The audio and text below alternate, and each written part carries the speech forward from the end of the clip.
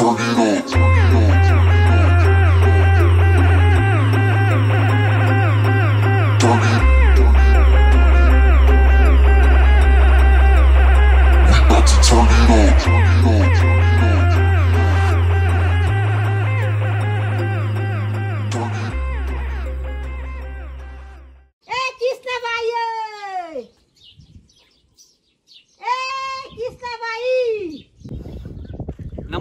मित्रांनो मी स्वप्नील स्वागत करतो तुमचं माझ्या यूट्यूब चॅनलमध्ये ज्याचं नाव आहे एस एस के ब्लॉग्स आणि जसं तुम्ही टायटल बघितलं आहे व्हिडिओचं आज आपण रहीबाई ओपेरी. ह्या ज्या आहेत ह्या ज्या महिला आहेत त्यांना पद्मश्री पुरस्कारांनी त्यांना सन्मानित केलेला आहे.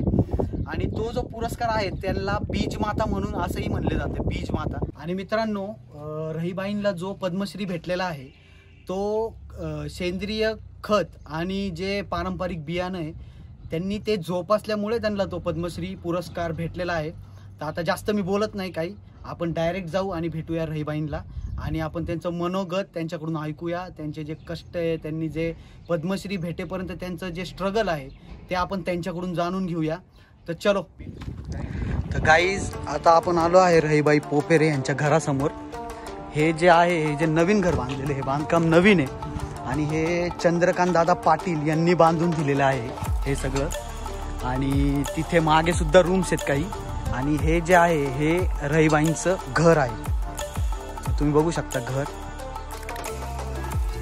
एकदम साधं असं घर आहे ज्यामध्ये ते एकदम साधं जीवन असं जगतात.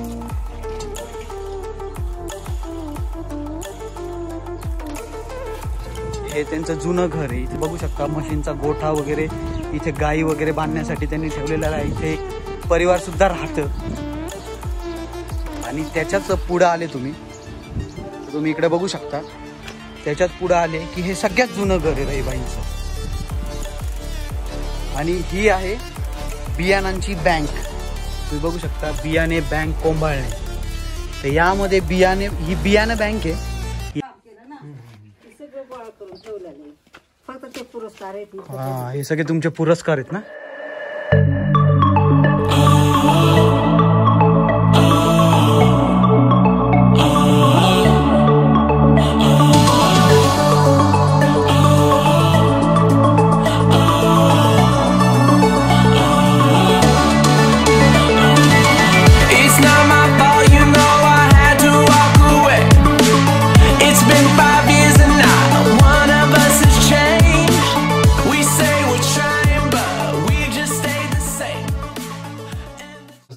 संस्थेचं नाव आहे काहीतरी त्यांच्या बाईप संस्था. हा बायब हा, बायब बाईप संस्था बायब तेच संस्था. हं. नवले साहेब इंदुरीले आहेत. बरोबर बरोबर आणि साठे साहेब आपल्याला आहेत. ते बरेच असे साहेब आहेत मी असे पर्जेट वाय वायले वाटून गेले हं, हं, हं, हं. असं. ओके मग त्यांनी पाठपुरावा घेतला तुमच्या कामाचा? हा, माझं साठे काम साहेबांनी? त्यांनी साठे साहेबांनी. आणि मग त्यांनी तुम्हाला वर आणलं? त्यांनी जगासमोर नेलं. हा. म्हणजे इथंच मी बिल चालू होते. मी हम्म. हायब्रिड खाणं हे माझ्या शेतामध्ये. तीन वर्ष दोन तीन वर्ष माझ्या मुलांनी सगळं नवीन केलं. सगळं खत औषध सगळं केलं त्याच्यापासून माघार ते एक एक एक एक आजार छोटा मोठा बसू लागला. मला इकडे ठाणगाव समचेरपूर अकोल्यापर्यंत पोरं पाठीची लावून दवाखान्यात न्यावं लागलं अरे बापरे. मग ते मी एक दिवस मला लय संताप आला मी थोडा त्याच्यावर विचार केला त्याच्यावर. घरात आजार नव्हते पहिले आता एक एक कुठून हो चालू यायला लागले बरोबर मग मी एक दिवस पूर्ण विचार केला मग मी दोन दिवस शेतात बघितलं. शेतात पाहिलं माग काय पिकीत होतो आता काय पिकीतोय शेतात? पूर्वी काय खात होतो आता काय खातोय पूर्वी खत कोणते वापरत होतो आता कोणते खत वापरत आहेत? कोणते औषध वापरत म्हणजे तुम्ही अभ्यास विचार केला त्याचा विचार केला. फक्त विचार केला. जाऊन डोळ्यांनी बघितलं आणि बघून त्याचा विचार केला मी. घरामध्ये पूर्वी काय भाज्या खात होतो आता काय काय भाज्या खातोय. पूर्वी वरण कशाचं होतं आता वरण कशाचं खातोय आणि पूर्वी खाणं गावठी होतं. हा, हा. आता सगळं हायब्रिड Hybrid, बरोबर. याला कोणतं खत कोणते औषध देतात? हम्म. आणि मग ती भाजी आपण खातो. हा पूर्ण मी आठ दिवस विचार केला.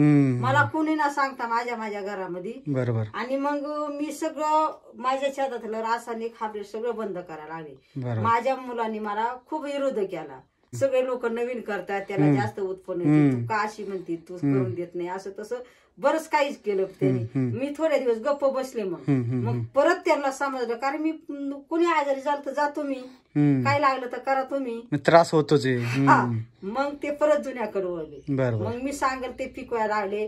कुठले खत नाही वापरायचे केमिकल खत नाही आणले. सगळं शेणखत सेंद्रिय खत मी घालून खत बनवले.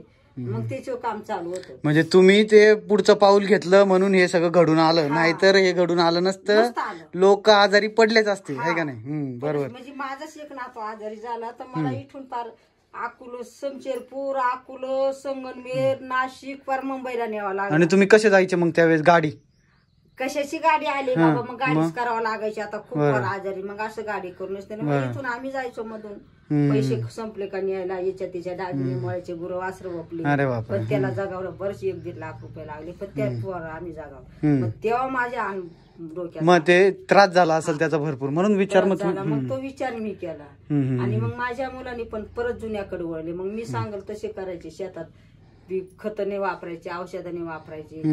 मी आम्ही जीव अमृत बनवतो. मग सगळं हे घरातले आजार हळूहळू कमी होत चालले. मग ते दिसून आलं तुम्हाला ते. फरक मी. बचत गटाच्या महिलांना सांगायचे नातेवाईकांना सांगायचे कुठं कोणी अशा महिला भेटल्या काम करताना हे करताना सांगायचे कोणी ऐकायचं कोणी मला खूप हसायचं खूप नाव. आणि हे काम करताना मी काही दिवस ऊसतोडी कामदार होते अकोल्याला टायरवर. अरे ऊस तोडायला. मग तिकून आय घरी आल्यावर मला हाताला काही काम नसायचे मी पाच वर्ष रोप तयार करायला लागले. म्हणजे रोप तयार करायचे आणि बचत गटाच्या मार्फत एक एक दोन दोन रोप महिलांना द्यायचे. फळ झाडाचे शेवगा हातगा कडीपत्ता पेरू लिंबू पपई हे रोप. आणि मग हळदी कुकाचा कार्यक्रम घेऊ लागले. तर त्याला पण माझ्याकडे छोटं मोठं वाहन घ्यायला पैसे नसायचे. बर बर पण मी एक एक रोपच वाहन म्हणून महिलांना देऊ लागले. पाच वर्ष ते दिलं मग आता पाच वर्षापासून बियाची पाकिट देते. पण मी अजून काही वाहन म्हणून दिलं नाही. हेच तुमचं वाहन हेच. तुमचं सोनं. आणि मग हे काम करताना बाईकची आमची इथे रोपानी मी ओळख होती. मी हेच घर होतं माझं. छोटी डो- एवढी टोकरी मध्ये एवढ लावले ग थोडे बांधून बी लावायला चालू होते. आणि ते साठे साहेब आणि ते आले.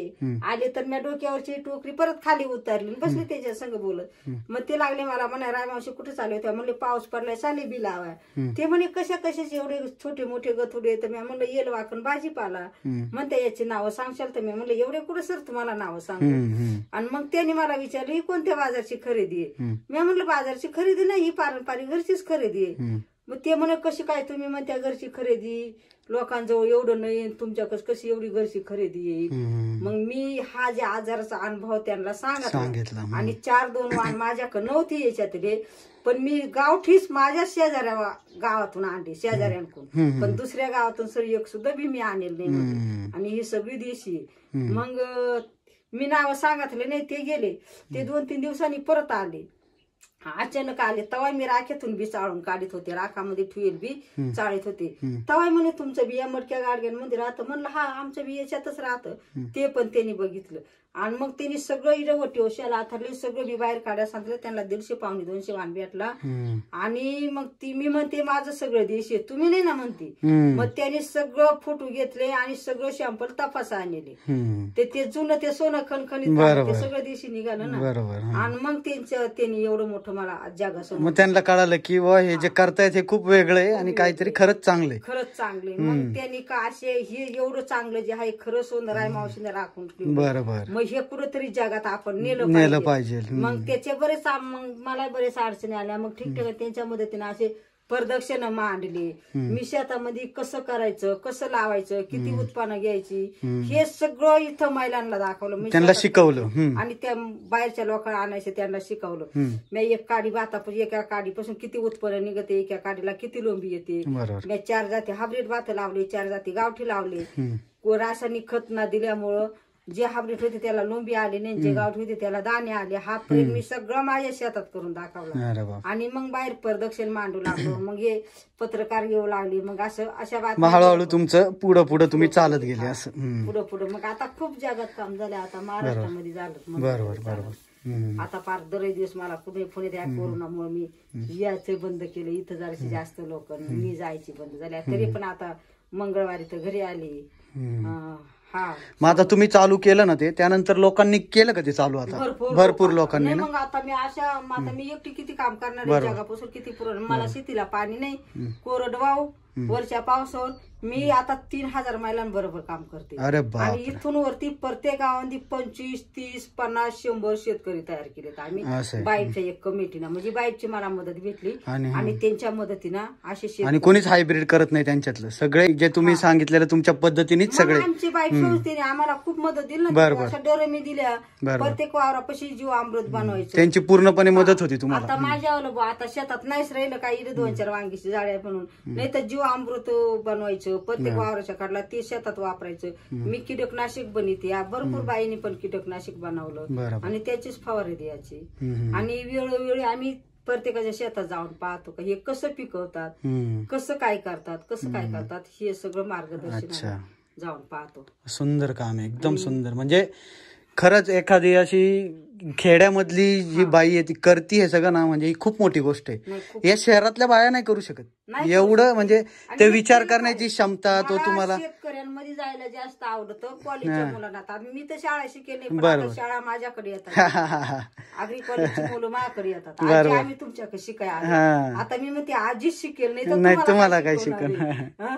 पण मग ते म्हणतात "नाही, तुमच्याकडे जे ज्ञान आहे ते कोणाकडेच नाही. ते आमच्याकडे. आम्ही शिकून भरपूर मोठालं झालो पण जे तुमच्याकडे ते जे पुस्तक वाचून जे भेटत नाही ना मावशी ते हे शेतामध्ये राबवून शेतामध्ये गोष्टी करून ते जे नॉलेज त्या काळ्या मातीचं नाथ जोडलं एक निसर्गाची शाळा शिकली. बरोबर, बरोबर. म्हणून आज मी मोठमोठ्या किती जगासमोर बोलता येतं बरोबर. तर ते मी हाताने करते म्हणून मला बोलता हो, हो, हो. येतं मला कुठलं आता मी एखाद्या टीजो गेले मोठमोठे मंत्री राहतात आमदार खासदार तरी ते पुढे कागद लिहून घ्या कागद काढायचा तो टेबल बरोबर, बरोबर. तसं माझं काहीच नाही ना माझं जे हातानं काम केलं केलं जे तेवढंच. समाजा पोट मॅन दिले तेवढंच मी बोलणार बरोबर, बरोबर. मला काय बोलायची आवड नाही आता लोक म्हणतात तुम्ही एवढे पटापटा नावं कसे काय सांगतात बियाची. आता त्यांना लहानपणापासून मी जीव लावते. लाविते वाढविते ठेविते परत लाविते. मग आई सारखा जीव लावते. आईला किती बाळ झाले ते आईला विसरत. आई कशी विसरू शकल. तशी यांना आई सारा बाळासारखा मी जीव लावते. त्यांचे नाव कशी मी विसरू शकल? नाहीच विसरू नाही शकत. विसरत. नाहीच विसरू शकत. बरोबर. हे जे मावशी तुम्हाला पुरस्कार भेटले हे सगळे सगळे पुरस्कार आहेत ना तुमचे इथं ठेवलेले? सगळे म्हणजे पुरस्कार- हा हे सगळे पुरस्कार तुम्हाला भेटले. हे सगळे पुरस्कार सगळे पण ती माझे नाही मानणार मी. मग? ते पुरस्कार त्या काळ्या मातीचे बरोबर. बियाचे तुमचे आमच्या सगळ्या समाजाचे. माझा म्हणून मी एकही पुरस्कार नाही मानणार. बरोबर बरोबर. मी त्या मातीचं नसतं नातं जोडलं तर नसतं, हम्म. पुरस्कार भेटले नसते ताजे पुरस्कार सगळे तुमचे त्या मातीचे आणि समाजाचे. खरंय, मी खरंय. कधी नाही म्हणू शकणार का माझे म्हणून? हम्म. मी एक पुरस्कार असे किती काही भेटले तरी आज नावाने मोठी उद्या पैशाने मोठी झाले तरी मी समाजाचंच काम काम करत करेन, राहणार बरोबर. आणि हा हे तशीच राहणार ह्या काळ्या मातीचं नातं कसं कधीच नाही सोडणार हम्म. फक्त माझा एकच विषय का मग प्रत्येक गावामध्ये प्रत्येकाच्या बांधापासून हे देशी बी गेलं पाहिजे. प्रत्येक शेतकऱ्यांनी हे केलं पाहिजे बरोबर आणि प्रत्येक गावामध्ये माझ्यासारखी एक रायबाई तयार झाली पाहिजे त्या कामासाठी. लोकांना हो. आणि पैशाच्या बँका गावोगाव आहेत गल्लोगल्ले नाही आता. पण बीएच्या बँका कुठं नाही. देशी बीएची बँक एक मी छोटीच्या घरामध्ये सुरुवाती केली तर अशी प्रत्येक गावामध्ये देशी बीएची बँका तयार झाली पाहिजे. का जेणे शेतकऱ्याला देशी भेटलं पाहिजे देशी खायला आणि मी प्रत्येक शेतकऱ्याला कळकळीची विनंती करून सांगते ही काळी माती ही आपली आई आहे ही अन्न देती मात आहे हिचं आरोग्य आपण संपवलं नाही पाहिजे. आपण तिचं आरोग्य संपवायच्या मागे लागलोय. तिच्यावर किती विषारी खत औषधं मारते ती किती सहन करणार आहे?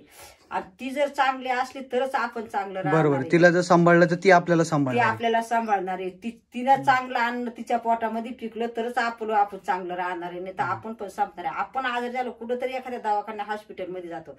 तिचं आरोग्य संपलं तिला कुठला डॉक्टर काय करणार तिचं आरोग्य आपण नको सांभाळ. आपल्या पुढची पिढी जर चांगली घडवायची असेल तर आज ह्या काळ्या मातीचं ह्या आईचं आरोग्य आपण सांभाळलं? पाहिजे. बरोबर आहे. तरच ती पुढच्या पिढीला चांगलं अन्न देणार आहे. पैसा किती असला तर पैसा कोणी खाऊ शकत नाही. खरंय आजकाल ते अन्न देते माते आहे तिचंच अन्न आपण खातोय. खरंय आणि हेच मी शेतकऱ्याला सांगते आपल्याला जर पुढचा भारत पुढची पिढी किंवा भारत घडवायचा पाहिजे तर तुम्ही आम्ही सगळ्यांनी हे केलं पाहिजे. हम्म. मी एकटी काय नाही करू शकत. सगळ्यांनी केलं पाहिजे आपली पुढची पिढी तरच आपला भारत चांगला आपल्या जिजामाता सारख्या मुली घडल्या पाहिजे आपल्या शिवाजी महाराजांसारख्या आपली भारतातली मुलं घडल्या पाहिजे. आणि यांच्यासाठी गावठी गाईचं दूध आणि गावठी खाणं देशी खाणं. देशी खाणं. आपला भारत चांगला घडल्याशिवाय कधीच राहणार नाही. एकतर भारत आपली संतांची भूमी आहे. पण ही आपण नाही घातली पाहिजे आपण सांभाळून ठेवली पाहिजे टिकावली पाहिजे. घर तुमचं आहे मावशी ते ना माझं छोटच घर आहे. आता हा. इथं म्हणजे माझी इथं स्वयंपाक पडी होती. हा. आणि एवढंच घर होतं ही पण पडी होती हिच्या शेळ्या वगैरे बांधते. बरोबर. ही सुद्धा मी बाईपला दिली. हम्म, हम्म. पण मग आता मला चंद्रकांत दादानी मोठं घर बांधून दिलंय. चंद्रकांत पाटील. चंद्रकांत दादा पाटील. बरोबर. म्हणजे ती पुणे- पुण्यामध्ये पुरस्कार भेटला. बरोबर. आणि तिथे लई लोक म्हणे व्यक्त करते. इथं भेटला तिथे भेटला दोन भेटले तीन भेटले. मी डायरेक्ट बोलले एक किती भेटले? सांगता नाही येणार बरोबर. याला ठेवायला जागाच नाही म्हणलं घरामध्ये. हम्म. आणि हे घेऊन काय करू म्हणले चार पाहुणे आले त्यांना बसायला जागा नाही. कॉलेजचे मुलं त्या त्यांना उभं राहता येत नाही. मग हे काम मोठं भूषण खोटं करावा का सोडून द्यावं. मला एवढा मोठा प्रश्न. मग ते म्हणे एक गरण एक बीज बँका बांध देतो हम्म. म्हणले माझ्यासाठी नका बांध पण माझ्या आलेल्या मुलांसाठी लोकांसाठी, आलेल्या हम्म. पाहुण्यांसाठी दिलं बांधतो खूप चांगलं. त्यांनी खूप मोठं घर बांधले. किती पाहुणे आले तर व्यवस्थित राहतात बीस आठवता येते. बरोबर. हा पीस तिथे झाले मी हाय त्याच घरात राहणार आहे. हा ना. आणि तिथंच राहते. म्हणजे आता तुम्ही त्या बाजूच्या घरात राहता ना? हा त्या बाजूला. मग इथं लय कमी पडलं ना मग हा. माझ्या मोठ्या मुली गाई म्हैस तिकडून पाहुणे जास्त यावं लागले. हम्म. तिकडे हे झालं मग. आणि हा गोठा आहे तुमचा? हा नाही येते एक कुटुंब राहते. राहतात म्हणजे प्रत्येक घरामध्ये राहतात. असं आहे का.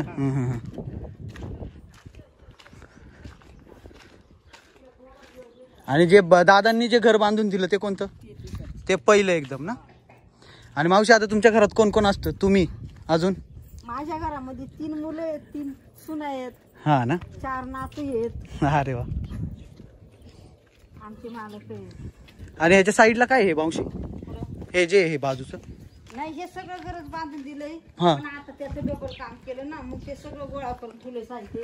हा. हे प्रदर्शन हॉल आहे का? हा प्रदर्शन हाल एक देण्याचा रूम म्हणजे प्रत्येकाला वेगवेगळं करून. आणि हे गेस्ट रूम म्हणजे कुणी आलं तर इथं त्यांना राहायला येऊ शकतात ते. देऊ शकतात. आणि हा. इथं देणं साठवायला.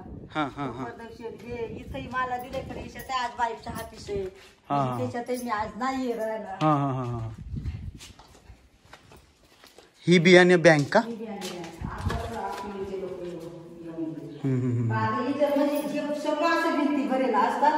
पण कालपासून कलरचं काम झालं तर. पूर्ण उतरवून पत्रे टाकले. आणि आपण बाहेर कलर केला मग ते सगळं आम्ही एक ठिकाणी गोळा करून झाकून ठेवले असं आहे का? अच्छा त्या तेवढे. हे असं ह्या माडक्यांमध्ये आहेत का? असं राखा राखेमध्ये सगळं बी असंच राहतं हा कुठलं केमिकल औषध नाही. आणि हे तीन वर्षापासून याची हे भरलं का इथं लिपायचं हे भरलं का इथं पॅक करायचं. असं तीन वर्षापासून याच्यामध्ये बी सुरक्षित. खाण्यासाठी दहा वर्ष राहतं हा पण पेरण्यासाठी तीन वर्षे जरी एक वर्ष दोन वर्ष नाही पिकलं तरी हे याच्यात साठवून ठेवायचं हेच बी काढून पेरायचं. हा हा हा हा राख राखची होती. मावशी समजा कुणी आलं राहायला हा. तर त्याला कसं आहे? चार्ज आहे त्याला राहायचं का कसं आहे? अजून कुणी आलं नाही ना? हा. हा, नाही तर नाही हा ना. हा, हा. हा हा हा. आता अजून पोत घरामध्ये आमच्या बरोबर जेवायचे. आणि झोपायला फक्त इकडे यायचे. बरोबर बरोबर. म्हणजे अजून का त्यांच्या ताटाप्रमाणे असं काहीच नाही. नाही ना सगळं काढून आता ते. हे तुमचे फोटो आहेत सगळे का? हा. म्हणजे कामाचे माझेच नाही कामाचे. आता हा जे राष्ट्रपती पोरगे, हे मोदी ही मिनका गांधी हे वीर मोदी. मग असं का ठेवलं मावशी? आणि बघा काम चालू होतं ना. हा, हा, मग ते सगळं गोळा करून ठेवले ना. रंगाच्या कामामुळे. हा. कालपर्यंत काम चालू होतं. हे महिन्याचे सगळं गोळा करून ठेवले. म्हणजे काहीच मागणी नाही सगळं गोळा करून. काम चालू होतं. तर मावशी जेव्हा तुम्हाला आहे ना पद्मश्री भेटला तेव्हा तुमचं रिॲक्शन काय होतं? तुम्हाला असं काय वाटलं की बाबा मला पद्मश्री भेटला पद्मश्री भेटला ना. इथं शेत होती होती बरं की मी काढीत होते मी तांबाट्याचं. आणि मला साठे साहेबांनी आपल्यावरून फोन केला. काय मावशी तुला काय माहिती घेतलं? पडलं का? म्हणलं नाही मला नाही काय माहिती पडलं. म्हणे तुला लय मोठं आज लय मोठं हे झालंय. म्हणले काय झालंय हो? म्हणे तुला पद्मश्री पुरस्कार भेटणार आहे. म्हणले भेटेल तेव्हा भेटेल जेव्हा भेटेल तेव्हा जावं आणायला. त्याच्यात काय एवढं म्हणून. मला म्हणतं खरं तर म्हणलं हा मग आता अजून काय सांगू. आणि ते म्हण बापरे लोकांना लय मोठं मन झालं असं राय मावशी अशी बोलते. म्हणले हा ते पुरस्कार मी पहिल्यापासून म्हणते माझे नाही त्या काळ्या मातीचे. आता ती एक निर्मुखी जमीन आहे म्हणले. ती कुठे उड्या मारणार आहे का? मला एवढा पुरस्कार भेटणार म्हणून. पण मी तिचाच समजते म्हणलं. त्याच्यावर नग- नगरवरून फोन आला. एक पत्रकाराचा. काय नाव आहे त्या पत्रकाराचं? काय नाही बाई त्यांचा फोन आला. राय मावशी तुम्हाला काही फोन बिन आला का? म्हणले आला होता साठे साहेबाचा. म्हणे काय म्हणत होते ते? म्हणले ते म्हणत का पद्मश्री पुरस्कार डिक्लेअर झाला? म्हणे मग तुमचं काय? म्हणले मग आता भेटेल तेव्हा जावा आणायला. माझं काय म्हणलं? मी काय थोडीच उड्या मारणार आहे म्हणलं. आणि मग मला म्हण तुमच्या गावात फटांगड्या वाजवल्या का? तर म्हणले सर आमच्या गावात फटांगड्या वाजवायला आमच्या गावात माहीतच नाही झाला अजून. मी शेतात राहते तुम्हाला माहिती आहे. म्हणले गावात माहीतच नाही तर कोण फटांगड्या वाजित नाही तरी माहिती पडलं असेल. म्हणले नाही बाई मला नाही ऐकाय आल्या फटांगड्या आणि मग ते म्हणा आम्ही येतो फटांगड्या घेऊन. मग आता इथं आमच्या मग मग- माझ्या नाताला जरच आली हो सांगितली हो, मग त्यांना थोडी हौस आली ना. मग ते म्हणे जातो आम्ही फटांगड्या आणल्या पण आमच्या गावात फटांगड्या पण नाही भेटल्या. हा. मग माझा ना जावाय अकोल्याला आहे ना न- नऊ दहा वाजता ते पत्रकार नगर वरून आले आणि त्या जावाईने वाजवले. फटांगड्या हा, वाजवल्या. म्हणजे कष्टाचं चीज झालं शेवटी. काळ्या मातीने तिचं तुम्हाला फळ दिलं आहे का नाही? मातीचं. मग कष्ट समाजी सेवा बिन कष्ट हे पुढे वाया नाही बरोबर तुम्हाला त्रास तर खूप झाला असेल आहे का नाही? खूप झाला. मला खूप लोकांनी. खूप लोकांनी घरातले बाहेरचे नी बरोबर. नाव मी म्हणले निंदाकाची गरज शेजारी असावे. कारण माझे वडील म्हणायचे टाकीचे गाव देव पण येत नाही. तुम्हाला असं कधी वाटलं नाही का बस बाबा नको आता? आता लय झालं. आता लोक मला काही करूनच देत नाही. असं. तुम्हाला कधी असं वाटलं नाही का आता बस? मी हा. काय टायमाला अक्षर तो असे लोक नाव ठेवायचे. घरातले पण मला बोलायचे. माझे मालक पण बोलायचे. मला संध्याकाळचं असं वाटायचं का नको हे काम करायचंच नाही. बरोबर. मरुदे सोडून दे. त्याच्यात फायदा नाही त्याच्यात पैसा नाही त्याच्यात काहीच नाही. करीतच राहिली करीतच. मला असं संध्याकाळचं वाटायचं. सकाळचं परत उठायचं नाही. ही आपलं सामाजिक काम आहे, हे नाही सोडायचं. बरोबर. आपल्याला नाही काय भेटणं का? पण ही समाजसेवा माझ्या हाताने करायची सण घडलीच पाहिजे. बरोबर, म्हणजे लोक- संध्याकाळच्या अक्षर तर रडायचे पण सकाळचं उठून परत या कामाला लागायचे. लोक किती जरी बोलले तरी तुमची ती जिद्द होती मनापासून की नाही मला हे सोडायचं नाही. सोडायचं. बरोबर बरोबर खूप छान. हे काय मी पैसा म्हणून केलं नाही फायदा बरोबर. म्हणून केलं नाही एक नॉर्मल समाजसेवा म्हणून हम्म. केली. की आपल्याला त्रास होतोय असा लोकांना होऊ नये. हा. त्यामुळे तुम्ही हे चालू केलं. चालू केलं. आणि त्याचं आज एवढं मोठं हे झालेलं हा, आहे एवढं बरोबर. मोठं झालं. हम्म. मला हे नाही हे प- पुरस्काराचं नाही मला मोठेपणा. जेवढं आपले बी प्रत्येकाच्या शेतात जाईल जाईल. आणि प्रत्येक मुलं दिशी खातील प्रत्येकाच्या प्रत्येकाच्या घरापाशी किचन गार्डन होईल. प्रत्येक सकाळ उठून ताजा भाजीपाला खाईल. हा एक मला मोठ्यापणे बस मला माझा स्वतःचा नाही मोठ्यापणा माझं तर आहेच म्हणायला आम्ही तर खातोय. पण असं सगळ्यांनी खाल्लं पाहिजे आणि केलं पाहिजे. आता पुण्यामधून मला काही फोन येतात पुण्यात बरंच बी गेले. मावशी आम्ही गच्चीवर तुमचं बी लावले हा. तुमचा भाजीपाला केलाय. हम्म. आणि ते एक मला मोठ्यापणा येत. आम्ही चार महिने भाजी विकत घेतली नाही. कोणी म्हणतं दोन महिने भाजी विकत घेतली. तो मला मोठ्यापणा वाटत. बरोबर बरोबर. खूप छान काम आहे तुमचं मावशी. आणि अशाच स्त्रिया पुढे आल्या पाहिजे अशा स्त्रिया लोक म्हणतात की काय बायकांचं काय करू शकतात बायका? नाही तर आता तुमच्याकडे आमच्यासमोर उदाहरण आहे. नाही. की बायका काय करू शकतात हे उदाहरण समोर आहे. जे करतात हे महिलाच करतात. आणि बरोबर. आणि त्यांची जिद्द सुद्धा खूप असते.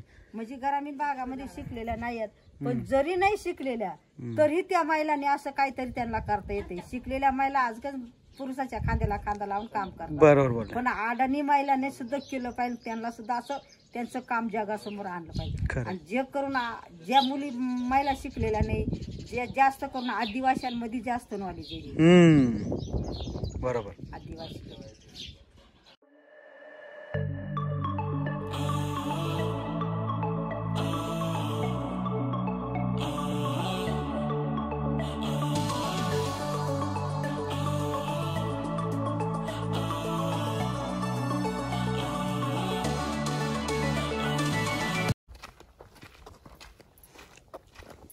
या पवन चक्क्याचा ज्या पावन चक्क्या आहे मावशी त्याचा फायदा होतो का हो तुम्हाला? काहीच नाही. काय बोलता? म्हणजे लाइट जातीच. अजिबात लाईटीचा अजिबात नाही अरे बापरे मग तुम्ही त्याच्याबद्दल काही केलं नाही का कोणाला अधिकाऱ्याला वगैरे? कोण अधिकारी? आहो आता त्यांनी जमिनी दिल्या त्यांनी भरपूर पैसा घेतला. हम्म. मग आपण काय करणार आहे? आपल्या जमिनी गेल्याने ना आपला पैसा नाही. आपण आदिवासी असल्यामुळं. हम्म, हम्म, हम्म, हम्म. आपल्या जमिनीच नाही गेलं तर आपलं काय? मग ही जी वीज आहे एवढी वीज निर्मिती होती ती कोणाला जाती? ती पुढं जाते पुण्याकडे पुढं. अरे बापरे. असं आहे का? बाकी गावामध्ये पर अजिबात नाही. एक हे अठरा जातीच्या अठरा सगळ्या हे ना? हा. म्हणजे डबल सरी एक नाही हा प्रत्येक जातीची एक. हे वावर आणि हे वावर. प्रत्येक जातीची एक सरी. त्याची शेंग वाहिली त्याचं फुल वेगळं त्याचा रंग वेगळा त्याचा कलर वेगळा. हम्म. पण आता वाळून गेलेले म्हणजे मला दाखवायला पण लाज वाटते. नाही काय नाही काय नाही आता. हम्म पाण्याच्या मुळे ना? पाण्यामुळं. हम्म. पाणी असतं तर आज हे हिरवगार असतं ना सगळं. हम्म. मला किती हौस वाटलं दाखवायला पाहिजे ना तुमच्या बरोबर. फोटो काढायला किती वाटलं असतं. पण असं जर वाळून कडक होत. आता मी कितीतरी बी याच्यामध्ये उत्पन्न केलं असतं. नेमकी बी लागायचं टाइम आला आणि मग आता असंच पाणी नाही तर मग तुमची हालत असेच हाल. हा आमची अशीच हाल. अरे बापरे. हा येतो. मग तुम्ही एवढं काम करून उपयोग काय? त्याचं तुम्हाला फळच नाही ना असं जर जळतच राहिलं असं तुम्हाला पाणीच ते नाही. प्रत्येक वर्षानं वर्षाचं असंच आहे. ते हा ना? वर्षी नाही. हा, या वर्षी तरी कसं आहे दोन तीन बरण्या भेटल्या होत्या. हा हा हा. प्रत्येक वर्ष असंच आहे. वरच्या पावसावर भेटल येईल पदरात पडेल तेवढं घ्यायचं. गेलं बरं. का गेलं. अरे बापरे अवघडच आहे. तुम्हाला खरंच सल्यूट आहे मावशी. म्हणजे तुम्ही हे करणं म्हणजे एवढं सोपं नाही नाही नाही सोपं नाही. नाही नाही बिलकुल नाही. आता मगाशी ते बँकेचे अधिकारी आले होते. हम्म. एक पत्रकार होता. हम्म. ते आले तर आता हे इथं पुढे मी थोडंसं वाल लावलंय असं. पाईप लाईनीचं वाळ गेली ते पाणी निघत आहे ना तिथे थोडं वाला ते गबाळ काढून काही जवळ होते ते. उपटून मी वर डोके वज घेऊन चालले होते. हम्म. वटीमध्ये शेंगा होत्या अशा वाळायला घ्यायच्या. हम्म. ते तोंडाला हात लावून पाहिजे म्हणे ही मावशी का? खरंच आहे का दुसरी आहे म्हणून एवढं डोके वज घेऊन चालले. मी वज टाकले त्याच्यासमोर गेले. पण तुम्हीच आहेत का हो? म्हणलं हा मीच आहे हम्म. म्हणे तुम्ही एवढं काम करतात. मग काम करते म्हणूनच हे झालंय. काम नसते करत कुठून झाला? बरोबर आहे. हा? बरोबर आहे. काय भेटलं असतं मला? कामाच फळ आहे नाही खरंय खरंय. आणि मला असे काही काही लोक येतात मोठमोठे बाहेरून आले ना. फार मंत्री कुठं ते ती राय मावशी घ्या बोलून. मलाच म्हणतात बरं का. रायबाई पोपेरे म्हणलं हा हेच मग ती रायबाई पोपेरे कुठे. म्हणजे त्यांना असं वाटतं राहीबाई पोपेरे पद्मश्री म्हणजे कोणत्या तरी भारी साडी नसली नेसलेली बाई हा मोबाईल हातात घेतलेली बाई असं गैरसमज आहे लोकांचा. ते मला म्हणतात हो ना त्यांना बोलून घ्या. कोणी म्हणतं त्या मॅडमला हम्म. मी म्हणते अरे अरे बाबा मला शोधावं लागेल कुठं तरी ते. ते अर्धा तास माग बघतात. खरंच तुम्हीच आहे का? हा बाबा मीच आहे. एवढं सांगावं लागतं. ते लोक खरंच म्हणजे लोकांना कपड्यांवरून आणि राहणीमानावरून लोक ओळखतात. ओळख. हा? नाही, मी नाही माझी राणी माने असं हा जशी आहे मी तशी आहे. मग हे कोणत्या अठरा जाती काय? आहेत? हे सगळे वाल गेले चार जातीचे वाल वाल आहेत म्हणजे अच्छा गोड वाल कडू वाल काळा वाल तांबडा वाल पताड्या वाल हम्म. आणि वटाण्या घेवडा लाल शिराचा घेवडा हिरवा लांब घेवडा हम्म. हिरवा आखूड घेवडा बुटका घेवडा अं, लाल वालवड बोंबली घेवडा हम्म. लाल लांब घेवडा वटाण्या घेवडा पापडी घेवडा एकाशी शेळीच्या काना एवढी शेंगराची त्याला पताड्या घेवडा म्हणतो आम्ही. गुडगी वाल म्हणजे त्याचं झाडच गुडगे एवढं राहतं मग त्याचं नावच गुडगी वाल मग ते नाव पण मिष्ट येले कारण जसा रंग तसे नाव जशी शेंग तशी नाव. असे अठरा जातीचे मला काही पटापटा नाव घेऊन टाकी ते नाही तुम्हाला आता ती पाठ झाले असतील. मस्त आहे खरंच तुमचं काम खरंच मस्तच आहे. आणि हे सोयाबीनचं आता तेल गाळायचंच म्हणतात पण सोयाबीनचं माझ्याकडे नाही बी आणि जवस सूर्यफूल याच तेल गाळायचं आहे. मी सूर्यफूल खुरासणी म्हणजे का कारण म्हणतं कोणी खुरासणी? जवस शेंगदाणा आणि सोयाबीन एवढ्याचं तेल गळत आहे मग. बाकीचं नाही तुम्ही राजूरला जाण्याचे का खुरासनी सांबार हा राजूरला सानायचे मग आता बरेच दिवस नसेल आणली. आता येत्यात पोरं सोरं घेऊन मी कायची येते थोडीस. मग तुमचा पोरगा पण हेच करतो का? हा. हेच करतो ना शेतीच. शेतीच करतात. माझे तीन मुले तिन्ही शेतीच करतात. माझ्या पैसे नव्हते बाबा तेव्हा शाळा शिकवायला जास्त. हा ना. एक बारावी शिकला पण ते आजकाल एक लाख दोन लाख भरी त्या नोकरीला लागत. आपल्यापाशी एकही रुपयाने तर कुठून नोकरीला लावायची. हम्म. मग आता तो तुमच्या जवळ किती पोरं असतात? तिने इथंच आहेत. तिने इथंच आहे ना? गावात राहते दोन इथं राहते. आणि जावई अकोल्याला आहे? जावाय आपल्याला ते केळीला आलेत राहायला आता टेलर काम करतात. हा हा हा. म्हणजे जावाई काय एवढे मोठे नाहीयेत नाही नाही काही नाही असं काय? भाजीची पुरी ती पुढं दिसते ती डिंगरी आहे. हम्म, हम्म, हम्म. म्हणजे सगळं प्रकार असं थोडं थोडं थोडं त्याला मेरणीला येतच पाहिजे. ही पूर्ण शेती तुमची आहे ना मावशी हा इथे एवढे पूर्ण आमचं. हम्म, हम्म, हम्म. आणि सगळं त्याच्यामध्ये पेस्ट करायचं याच्यामध्ये पहिला भोपळा हम्म, याच्यामध्ये मग त्याच्यामध्ये आता थोडं थोडं पाणी येऊन ओलं होतंय ना हम्म. ते पा त्याच्यातून परत मी जवळ टाकले आळंबा टाकलाय परत दुसरा वाढ लावलाय हम्म, हम्म, हम्म. जोपर्यंत निदान भाजी तरी भेटेल म्हणून पुढं वाटाणा लावलाय थोडा आणि मग हे तुम्ही कुठं विकता नाही नाही विकायचं नाही. भाजीपाला फक्त घरी घर- खाण्या सगळं बेण्यासाठी. हा हा. विकलं तर मग मला बेणं नाही ना शिल्लक राहणं. हम्म, हम्म, हम्म, हम्म. बेणं नाही पूर्ण.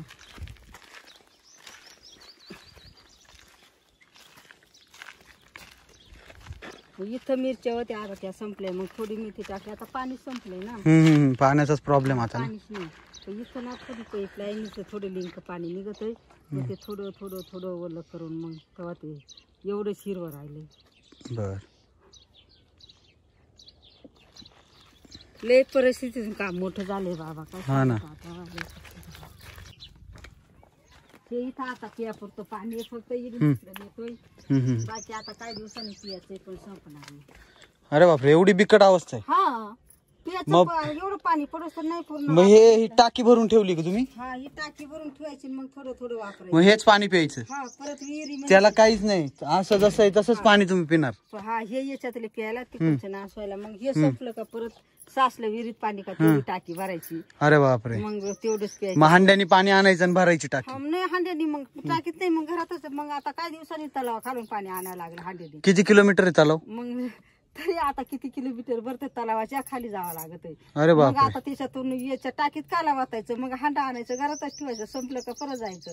ही पोपेरवाडीच्या बाय आमच्या एक किलो एक दोन किलोमीटर दोन दोन हांड्यानी पाणी वाहतात आता तिथून या तलावाच्या खाली येतात तीन तीन हांडे घेऊन. आणि आम्हाला पण आता इथून पुढे तेच करावं लागेल. बापरे. जे गरिबाची काय अवस्था आहे आज आणि सिटीमध्ये लोक लागल तेवढं पाणी वायाला घालवतात. मग आता हे पाणी किती जाणार तुम्हाला टाकी? दोन महिने? नाही महिनाभर जाते. महिनाभर? बरंच नासवायला लागत आहे आता. हा. पाहुणे रावळे माझ्याकडे आता आता कमी झाले तो बंद केलेत. नाही तर रोजचे पन्नास साठ शंभर दीडशे हम्म. मावी महिला येतात बघायला. असे एक एक दोन दोन सोडून. बरोबर बरोबर. त्यांना जेवण खाऊन राहतं काय काय मला हम्म, हम्म, हम्म. Hold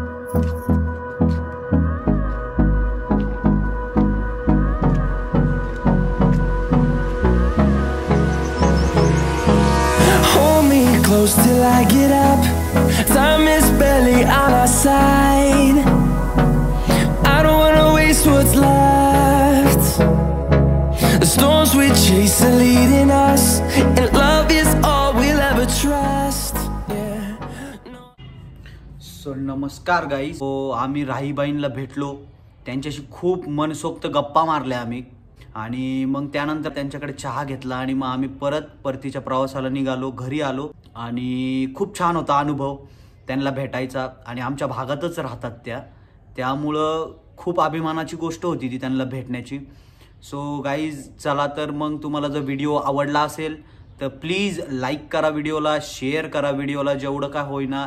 ह्या ज्या अशा स्त्रिया आहेत त्यांना खूप लोकांपर्यंत पोचवा आणि सबस्क्राईब करा गाईज माझ्या चॅनलला असेच जर व्हिडिओ तुम्हाला पुढे बघत राहायचे असतील तर प्लीज सबस्क्राईब करा.